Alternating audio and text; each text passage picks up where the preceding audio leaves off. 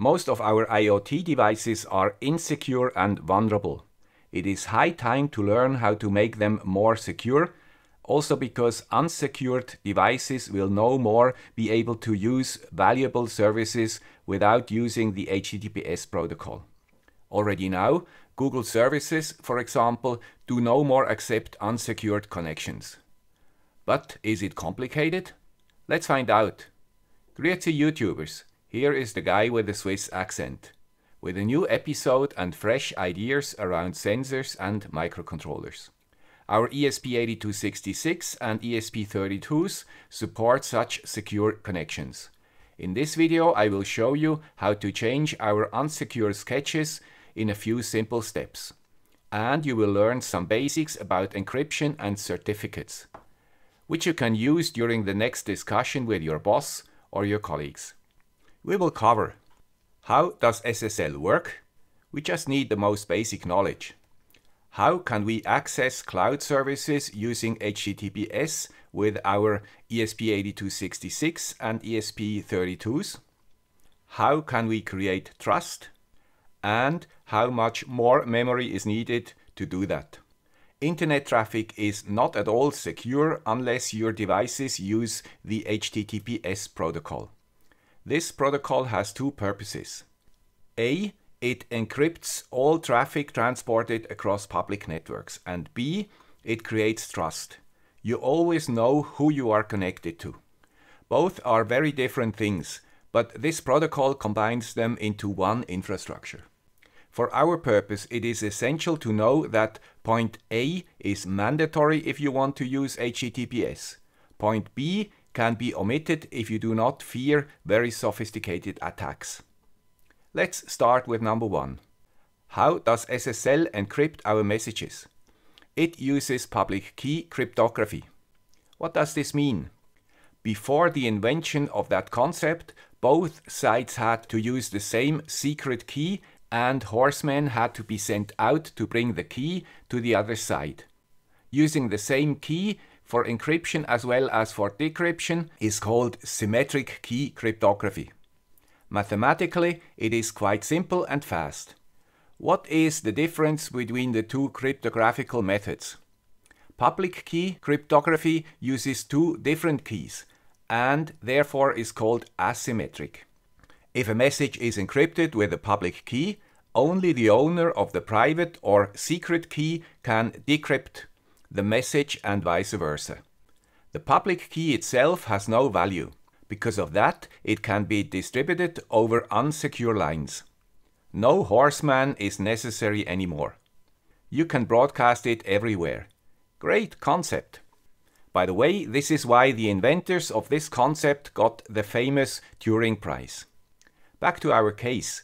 If your device calls a server using HTTPS, it gets the public key of the server. Because this key is part of a thing called certificate, you find it when you press the padlock sign in your browser and press Show Certificate. First, you see the validity of this certificate, which is vital for our future steps. Here, its validity is only a few months. After that, it will be changed. Then you go to Details and you find the public key. Our device starts to encrypt messages using this key and the server, having the corresponding private or secret key, can decrypt the messages. This asymmetric key procedure is slow because it is mathematically complex and therefore not suitable for fast internet traffic. This is why our device sends a symmetric key to the server. This is secure because the message is encrypted using the asymmetric keys. Now the server and your device have the same key and can change to a symmetric encryption, which is much faster. Fortunately, all this heavy lifting is done by the Wi-Fi client secure library, which we have to use instead of the Wi-Fi client library. We also have to use a different port, 443, and not port 80 to talk to the server. The rest of the code stays pretty much the same if we only want to use encryption. Cool. Our device is future-proof and safe without lots of work. Point number two and the encryption part of point number one is covered. Because our device uses SSL and encryption, all servers accept our connection. Point number three is more complicated, but I show you how to succeed also here. The internet offers two fundamental ways to create trust and Ivan from Espressif created two different example files for that purpose. I used these example files to create two sketches for the ESP8266. Please upgrade first to version 2.4.2 in Boards Manager. Otherwise, you will not find these examples. The two example files are called HTTPS request and HTTPS request CA cert. I changed them that they access howsmyssl.com, a web page which shows us how good our SSL capabilities are. This page can also be called by a browser. In my case, after checking the different cryptographic capabilities of my browser, its verdict is probably okay for the Chrome browser. Let's come back to the sketches.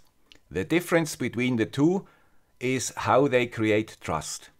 HTTPS request uses a so-called fingerprint and HTTPS request CA cert uses a certificate for that purpose.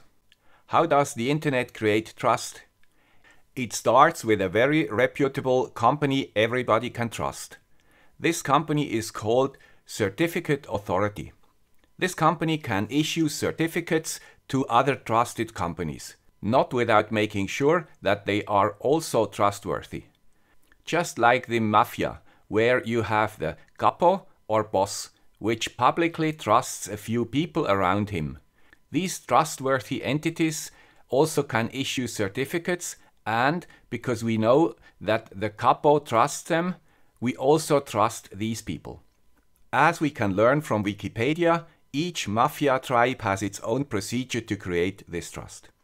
I do not know if the mafia method were the basis of HTTPS. Probably not. But if everybody posts this fact on social media, maybe it becomes the truth. In HTTPS, all its trust is created using a chain of unbreakable certificates.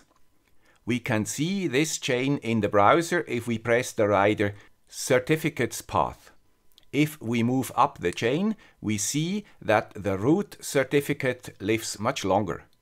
If we could build our trust on this certificate, we would not need to change it every few months.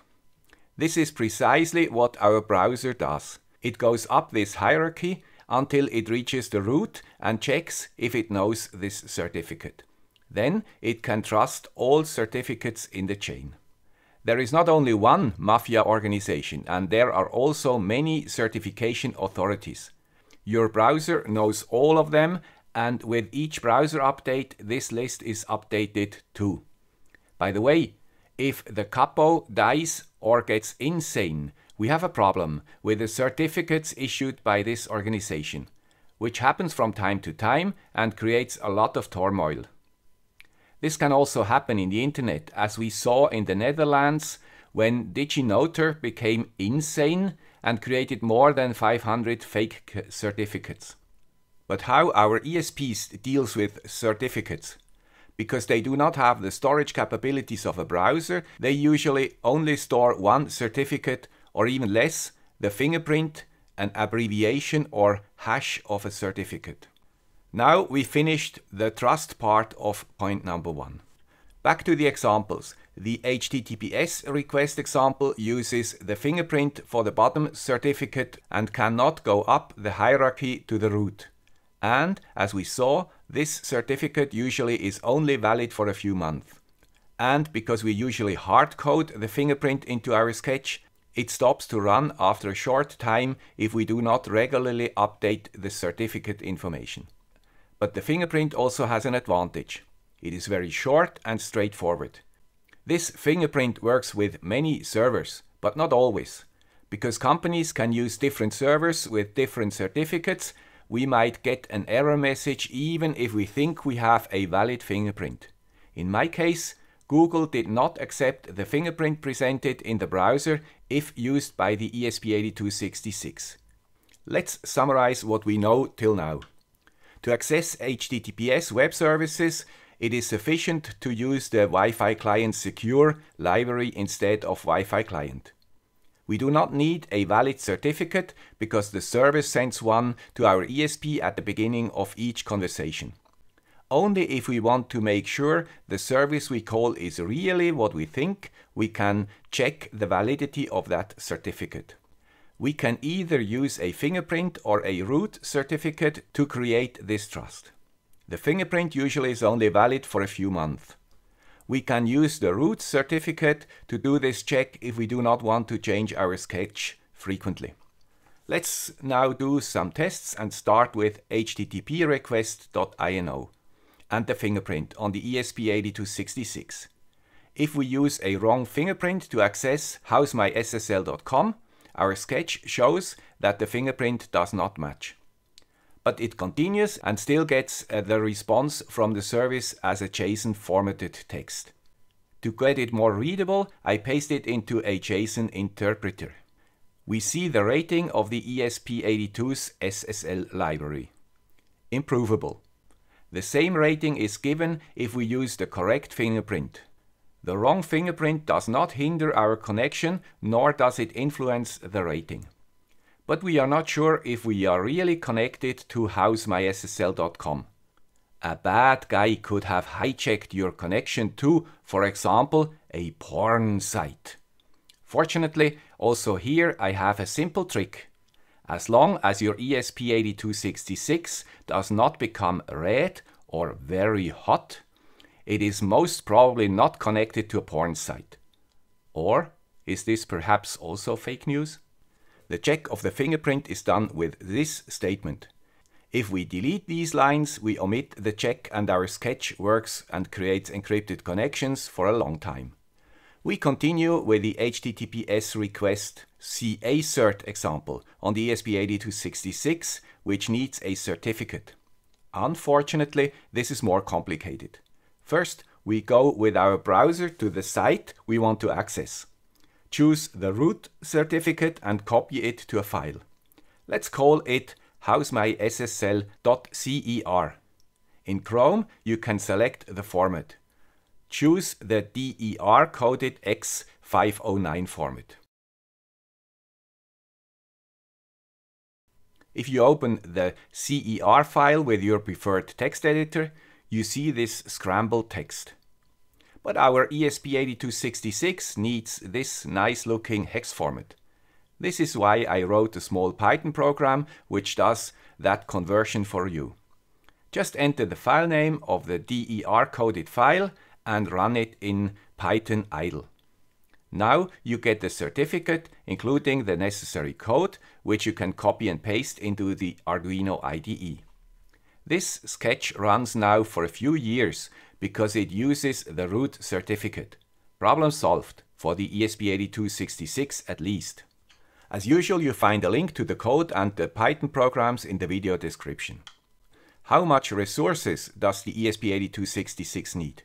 This sketch uses 31% flash and 37% dynamic memory, with a fingerprint or a certificate. A non-secure sketch would use 24, respective 35%, around 30% less. This is acceptable for what we get. Let's continue with ESP32. There I only found an HTTPS example using a root certificate. The example is called Wi-Fi Secure. It does not behave like the ESP8266 where we have a separation between encryption and trust. With the ESP32, we need to set a CA certificate with the command client.setCaCert. Then the client connect method uses this certificate and does not connect if it is not valid. So here you definitely need a certificate. Fortunately, it is not too complicated to get one. This time we export the root certificate in the X 509 base 64 format. Again, I wrote a small Python program which converts this certificate file in a text which we can copy paste into our example file. It looks different to the ESP8266 format, but the content behind the scenes is the same. The rest of the calls are the same as with HTTP. And if we call howsmyssl, we even get a probably okay, the same as with the Chrome browser. Not bad. Probably because it supports much more cipher suites and some other stuff. The ESP32, as usual, uses much more resources. 62% flash and 12% dynamic memory. Without encryption, it uses 46% or a third less flash. Summarized, we learned that public key cryptography is used to securely exchange symmetric keys between our ESP and the server. The public key is part of the certificate sent by the server to the ESP at the beginning of a session. The symmetrical keys allow efficient encryption of the traffic during a session. All this is done by the secure libraries on the ESP8266 and the ESP32. With the ESP8266 you have three options, using no certificate, a fingerprint or a certificate. I would not use a fingerprint unless it is valid for a long time, which is hardly ever the case. The ESP32 has a better library but needs a valid certificate if you want to use HTTPS. I wrote small Python programs to format both certificates as needed.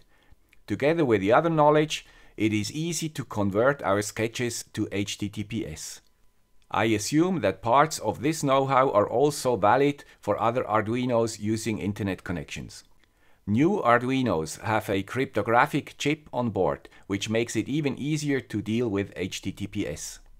By the way, if your ESPs do not do what you want, you can switch debug message on. Then you see what's up and maybe you find the problem. Not only to debug HTTPS code. I want to thank all my supporters on Patreon and viewers using my links for their purchases for supporting the channel. Without you, it would be difficult for me to do what I do now. Bye.